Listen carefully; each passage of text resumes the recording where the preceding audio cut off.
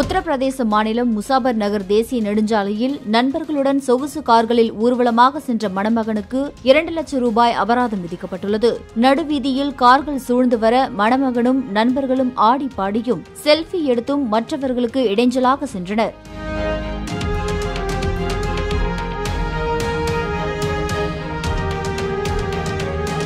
இதனை படம் பிடித்த ஒருவர் காவல்துறைக்கு அனுப்பவே சம்பந்தப்பட்டவர்களின் ஒன்பது கார்களுக்கும் காவல்துறையினர் இரண்டு லட்சம் ரூபாய் அபராதம் விதித்துள்ளனர். போக்குவரத்து விதிகளை மீறியதாக அவர்கள் மீது நடவடிக்கையும் எடுக்கப்பட உள்ளது.